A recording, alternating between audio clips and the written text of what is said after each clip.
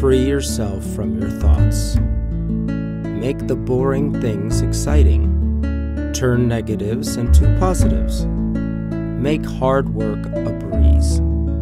Accept grief as your healing. Treat everything with compassion. Learn to let go. Show gratitude towards yourself. Give love to the universe. Take a mental vacation. Remove all your clutter, both physically and emotionally, and give yourself the greatest gift of all.